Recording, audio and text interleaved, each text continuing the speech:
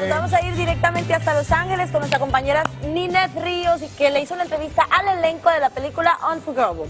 Lo dije bien. ¿Cómo? Lo dije bien. Más o menos. Unforgettable. ¿Y qué yo dije? ¿Cómo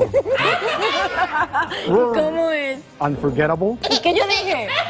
No, no, no, no, no.